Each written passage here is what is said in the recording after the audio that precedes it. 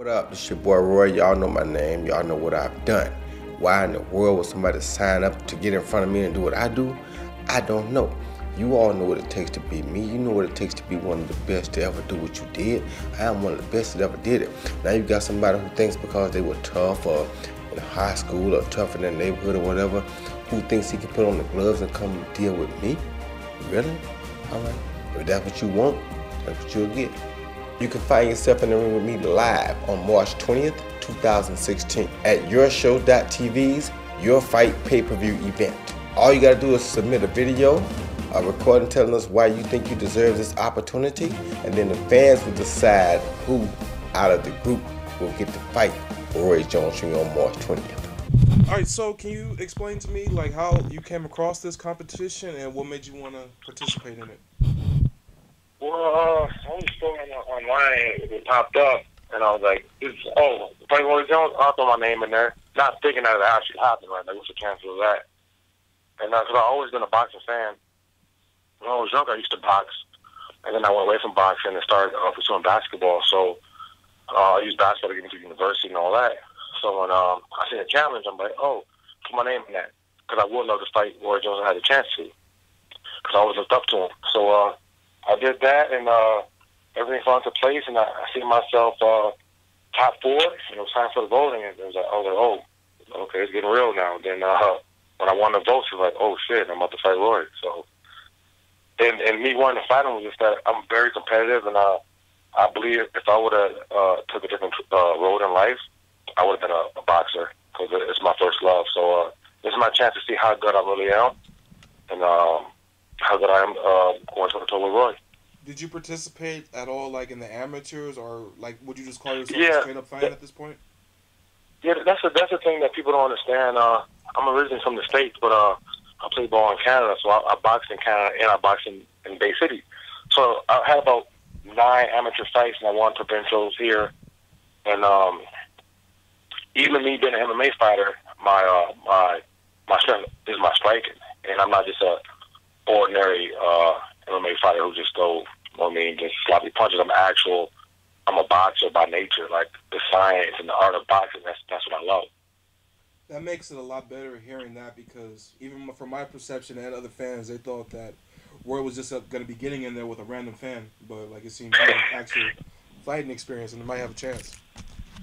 Yeah, and the thing was, and, and that's what things uh, fans are confused upon that. Like, I'm still a fan. Like, I, I'm I'm still a Roy Jones fan. So I'm a fan. I just can fight, right? So I'm still a fan, and I I think I have a, a better chance at some professional boxers boxing because, like, on paper you may see the MMA record on paper, and my record is six and three, but two of the three losses are very, very, very, very, very debatable. Like, very debatable and if, and uh, the one I, the losses that I have are very close decision losses where I took no physical damage and I lost because of a, a, a wrestler holding me down or or something like that. So all my fights, I do the most damage. If I win, it's by KO or something like that. And when I lose, it's a close decision, and I leave away there, ready to fight the next day. So looking on paper at at, at six and three or or then updated at five and three, you're like, oh, this guy has no chance, but I've been in there. I've been in the ring with some high level people, so I believe my nine fights is equivalent to having like a hundred fights because the level of fights that I had and um, the the level of fighting when I was an amateur. Right. So, like, if if this fight does go well for you, do you see yourself crossing over and leaving MMA and starting competing in boxing? Uh, I, I thought of that because um, when I do boxing, people actually come and watch it and go, man, this this guy can box. And I always got, uh, man, you should go into boxing. You should go into boxing. I love boxing, but I felt like in boxing I'm limited. You know what I mean? Uh, um, I'm very athletic, fast, and all that, but in boxing, all I have is my hands. I'm like, okay, MMA, I got my feet, I got my elbows, I got my wrestling, I got my jiu-jitsu, so I, I can kind of pick and choose what I want to use. Where boxing, all that stuff really can't really help you. I can be athletic all I want when I when I get older and slow down. Then what do I have? I have to have my basics, and then I'm, I'm just I'm just like the next person. Which MMA, I can kind of pick and choose. So the boxing was something I kind of thought about, but I felt like I'd be limited. But if I got the right fights and got the right uh the right opponents, then I might I might cross over.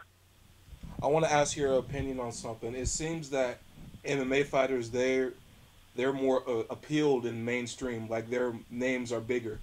But in boxing, the same boxers they'll make a lot more than these MMA fighters. They just might not necessarily have the same fame appeal. Is that correct in your opinion? That's true. That's hundred percent. That's hundred percent correct. And uh, like, see, I'm an MMA fighter, but I, I I'm still I'm still a uh, boxer by nature, and I'm still unbiased when it comes to the debate or this and that. And I always say, when I was younger, when you was a, everybody wanted to be a boxer. Tough guys, you have to be tough to be a boxer. Nowadays, everybody's a fighter. Everybody's an MMA fighter. Everybody wants to be in the UFC. But back in the day, you had the Mike Tyson and, and, and, and Muhammad Ali. Nobody was jumping out of their bed to go be a boxer. Like heck no. But now everybody wants to be an MMA fighter. So it's all it's the the spotlight on that. But the true grinders and the, and, the, and the true traditional fighters are boxers, in my opinion. The art of fighting, a striking, it, it's boxing. Now we're we're going to a point where guys are doing, I know that like striking MMA, but the true art of fisticuffs is boxing. Right. Do you think we'll see more boxers? You know, because we know Holly Holm, she's crossed over recently and had some success. Do you, and do you think boxers are cut out for MMA? I, I, I think we, will see a, a lot of a lot of crossover, but see the thing with me that I've been blessed with is I I done both, and I know for a fact that like when we have this debate about MMA and boxing, it's, it, it's hard to to debate that because in boxing, some things that work in boxing does not work in MMA. Some things that work in MMA does not work in boxing. So you can be a high level boxer with with great striking, but if you don't know how to adapt that to MMA, you can lose to an 0 1 guy because if you're, if you're having on, on your lead leg, a guy's gonna shoot you on your butt. You know what I mean? So when you go when you go make transition from boxing to MMA, you gotta know how to you gotta know how to change it up. So you might not look like a traditional boxer anymore, and that's mm-hmm. why some MMA fighters look like they can't punch or they look like amateur boxers because you can't fight like a traditional boxer in MMA. I want to ask you about Roy. We all we um, we both know that he's one of the best fighters of all time, hands down. But a lot of people feel that he's continued fighting on for about ten years since he probably should have been retired, and like his his recent fight that scared a lot of people. So, like, what do you think about him still competing deep into his forties, way past his prime? Me as a fan, uh, uh, I think he shouldn't. But me as an athlete, a competitor myself, I know it's hard to let go when you when you all you know is something, you can't let it go. It's, it's always the athlete that's the last to, to know when it's time to go. So as a fan, I think he should. As a competitor, uh, continue because this opportunity for me. If Roy would stop fighting right now or yesterday, I would not be in the predicament I'm in right now. Right. So I owe all this to him. Like me, me going there and say I beat him that's no respect to him. That's not making him less than a champ, less than a man. He's still one of my favorite boxers of all time, and I still will respect him as that. But um, me going and beat him doesn't change that, and I will still look up, look at him the same. And after this fight, I think he should step away um, and, and and work on other things. I remember he was into music. I don't know if he's still into that.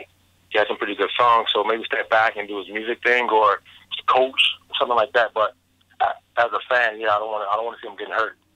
I don't. I don't. I want to. I don't want to see his, his legacy um, being tarnished because he keeps fighting after. Because the guys that he has lost to, he would have destroyed them in his prime. Exactly. Yeah. And even a guy, even a guy like me going and beating him, the the world would say, "Oh, he sucks. He lost to this no name guy." But to me, I'm like, no, I'm actually pretty talented. But you know what I mean? I don't want his legacy been been tarnished because of um because of his uh competitiveness. Right. Earlier on, you told me that you're a boxing fan and you grew up watching it a lot. Can you tell me some of the fighters that you watch or maybe still watch now, or that even inspired inspired your style? Yeah, I I, I still watch. Uh, I like old fighters. I, I still watch uh, Muhammad Ali. Um, I like uh, Lennox Lewis. I like Bernard. Uh, Mayweather Senior. Obviously Tyson. Uh, I, I I just always loved the art of fighting, the art of boxing. I just always loved the fight. I'm, I'm uh, by nature, I, I just I just love that, that that sport. Like, yes, I'm MMA, but man, I'm my heart is boxing. Like, I know a lot about it. I know a lot about the uh, yeah. Now, in terms of, uh, I read somewhere that like if you win, you're gonna win a hundred thousand dollars. Is is that correct? Yep, yep, that's correct. So like even if you lose, do, will you still get something, or is it just like that's it? I don't even know. I, it, it's win, win. It's like uh, a win all or get or get nothing. Okay. Um, and uh, yeah, like, and the, and the, and the thing about competition is uh, like, it's a grind right now. Like, like, I, I would train all day long, and and the matter fact, we don't make that much money, so I'm grinding. So the money means a lot to me and my family, but I think that just the opportunity and to get my name out there, my story out there, my face out there, that's the big picture because. I'm I'm 100% sure when people see me and they see me fight, regardless of the outcome, they're gonna they're gonna have a new respect for me. Period, and that's gonna that's gonna help me in the future. And I'm hoping that uh after the fight, um, me and Roy Jones go have a coffee or water and just uh pick each other's brains, and maybe he'll be impressed, maybe not, and uh hopefully we can uh go from there. What do you think about the rest of the card? I've never seen a card like this that has that that can appeal to so many different fan bases. You know, I'm not really into MMA, but I know who Chael Sonnen is, and then you have two um, pro wrestling legends and Rey Mysterio and Kurt Angle on the card as well. What do you think about this, and do you think we'll be able to see more cards like this in the future? I I know I know to the naked eye it looks like a a, a freak show, but I think it's a clever idea to have this way because you can, if you're wrestling fans like WWE or w, uh, WWF, then you're gonna you're gonna want to go see that part of, of the card. If you're an MMA fan, you're gonna want to go see oh I'm gonna go see Tank or whoever's fighting. Uh, if you're a boxing fan, you're gonna go see the boxing part. So it, it gets you different different groups of people to go see it instead of having all MMA fans or all boxing fans, all wrestling fans. So I think it's kind of clever. It depends how they run it. It depends how smooth it goes. It depends how entertainment it is, and if it's, if it is good, I think it can be something that can be done again. But if it's you know, I mean, shitty, then it, it, it'll be a freak show. Right. Yeah, I'm very interested in looking to see how, how it goes and ho- hoping that they can pull it off. And in closing, I just wanted to ask you, how do you see the fight playing out, and can you give me a prediction? I I I can see uh I can see the fight plan, playing out as uh you saying to Roy Jones Jr. That's that's all I can say. I can see you can you can see like a like a mirror match. So you're saying that you're going to be doing a like a Roy Jones style in the fight, like with your hands down and you know. Moving Uh. I'm I'm saying that uh like I say, he was one of my, one of my idols growing up, and uh my boxing style is ninety percent his. Oh, So let's just say that uh what he's thinking, I'm thinking the same thing, and that's gonna make an interesting fight. All right, man. Well, thanks a lot. I appreciate for you for your time, and good luck. Thank you. Thank you for having me. Um, um, can't wait. Can't wait.